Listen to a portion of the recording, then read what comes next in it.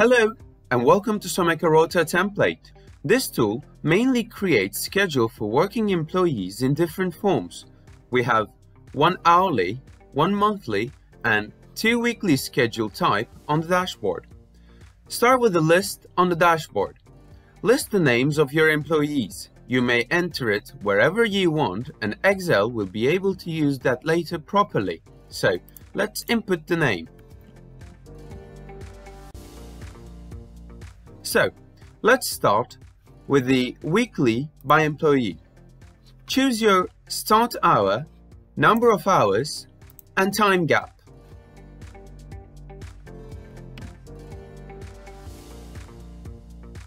Once you set, the table below will change instantly.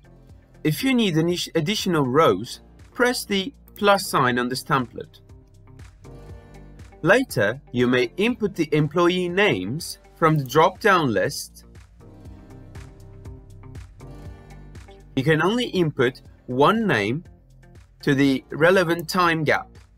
To go back to menu, press the Back to Menu button. Weekly by Shifts lets you prepare a weekly schedule for each employee. Choose your shift names, type down their working hours, and their start and ending time. Once you complete typing in the shifts of employees, you may see their total working hours on the left side. To add a name, click on this cell and choose from the drop-down list. Type in the shifts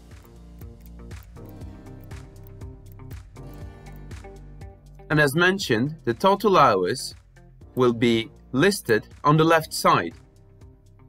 On the hourly per employee, set your start hour, number of hours, and time gap.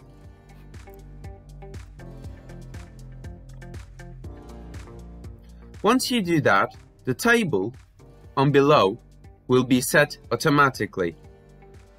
You may add or delete employees from the drop-down lists in here. And once set, the format prepares itself. Once you add the employee names that you require, select in which working hours they work. You may create a schedule like this. And lastly, on the monthly rotation schedule, you may create three different types of shifts. Write the names and the abbreviations.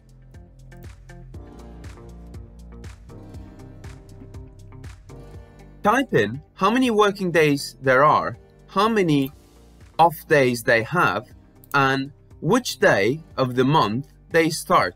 So let's say if we need this worker to work five days in a row and then two days off days, and if they have to start on the second day of the month, and once you input your employee name, The schedule for the chosen employee will be prepared automatically. You may also set your year and month and the calendar in here will be set accordingly.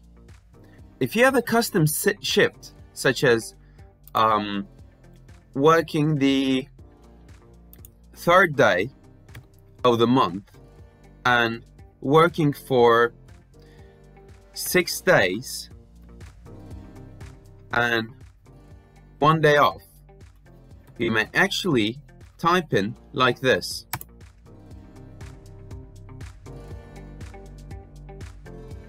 Thanks for watching and don't forget to check our other templates at www.someka.net.